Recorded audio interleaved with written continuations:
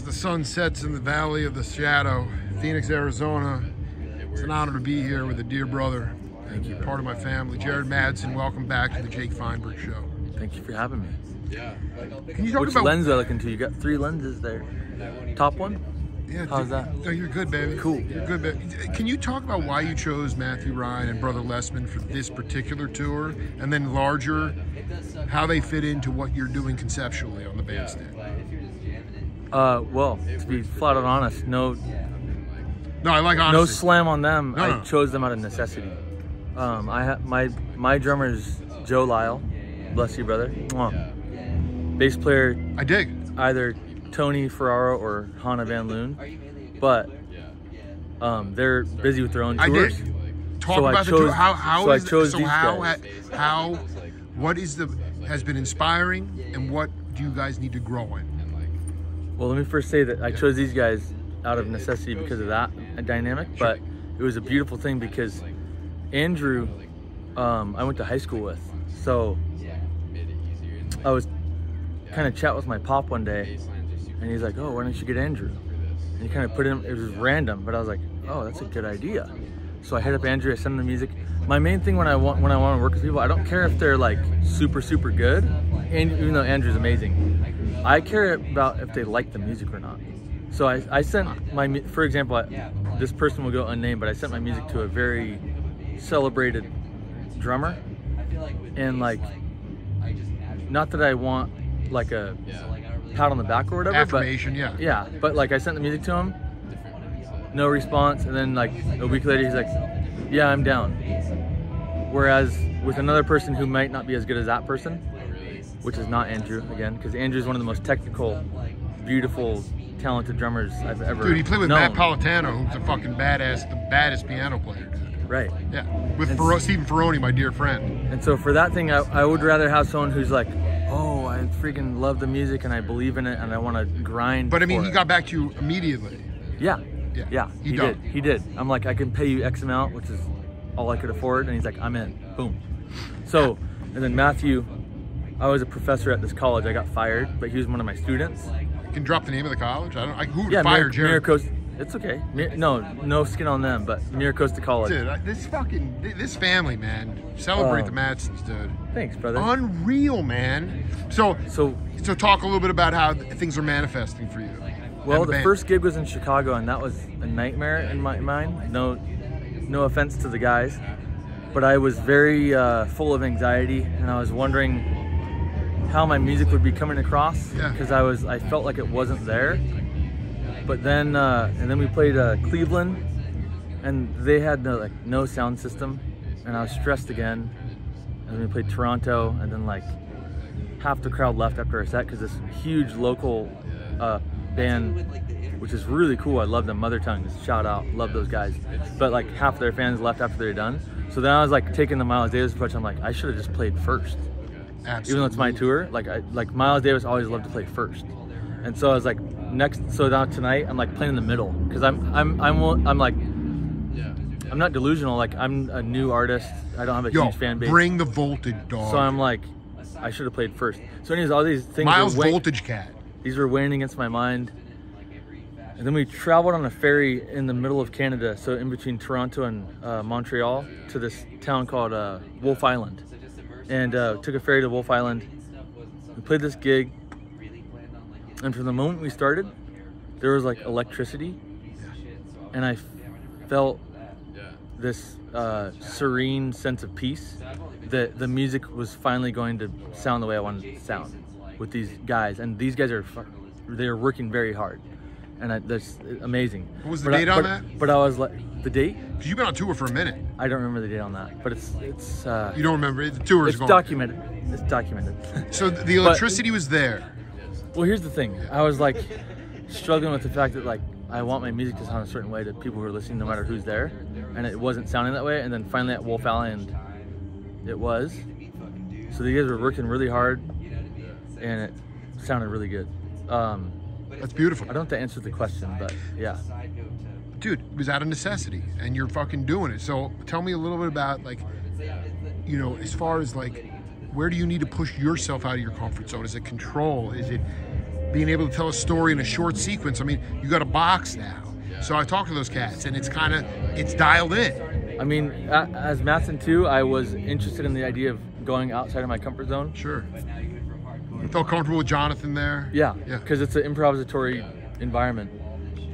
However, no matter how disappointing this will be to you and your listeners, I don't Just to me, baby. I want to be comfortable right now. I want the music to be well crafted. I want it to be specific, and I want it to sound the perfect way that I want it to sound. So I'm not interested in pushing myself in a uh, improvisatory way. I'm interested in pushing myself in a way where like I want this to sound like the record. Um, if that makes sense. But the ju- the juice is still there, bro. The juice Yo, is still there. I'm dude, still doing the juice. Dude, I'm going to be marinating in that juice tonight. Okay. dude. Yeah, I want you to just talk a little bit about what your dad has meant to you as a spirit. Well, he used to call me his uh, court musician, I believe. He was the king. We are the court musicians, He was the king. and he would, uh, you know, growing up the way we grew up, Jehovah's Witness, it wasn't really um, encouraged to pursue music. Really? It was like, it's very, you know, they encourage creativity, but But not for a but like livelihood. yeah. as a livelihood, like oh, you know, blah blah blah. You're gonna have corrupted whatever. So which I respect, but he always encouraged us to pursue music because he's an artist and he knew the power of music, and so and he also knew that I was really bad at nailing in a nail because he's a carpenter. And he's like, they can't nail in a nail. Me neither. And he plays guitar good. So like, Yeah, yeah. why not encourage the twins to like pursue music? So that's what we did. And so he would uh, every night when he'd get home, he'd have his tall boy of Coors, and he'd give us Slim Jims, these little Slim Jims. And it was a snack that we look for. We'd always look forward to a snack when he got home. Give us like these Slim Jims. 536 or like even later than that. Uh, six to seven. He's a hard-working construction guy. Mom was like teaching. Mom's or- a house cleaner. But she would have dinner ready, but you were ready for the snack. She did dinner, but we loved the little Slim Jims. It was a, it was a little thing where like my dad was like, if I'm gonna go to the liquor store to buy beer, I'm gonna buy my kids something. So he bought us the little Slim Jims, ten cents, and then the Slim Jims started stopping, and I realized that's when my dad cut back on drinking, which is good.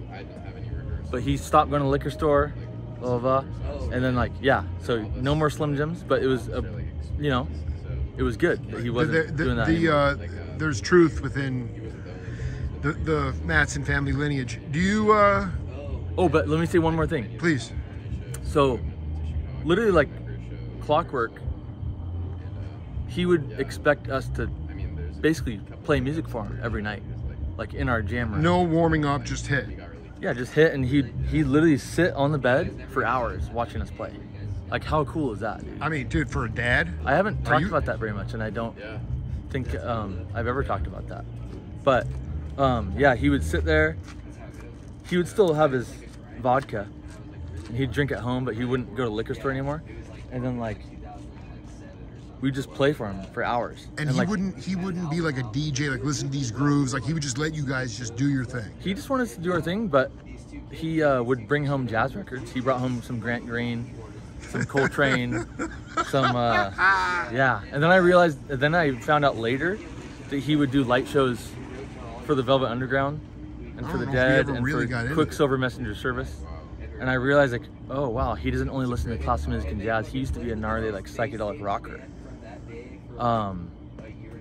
So I guess it started. I started. Not only did I start respecting him more, I started realizing why he like loved music so much, you know, and why he was like entertained by us every night, just experimenting. So we do like free jazz, we do random stuff every night. There's some recordings that we have from way back in the day where you could like hear him talking or laughing or whatever.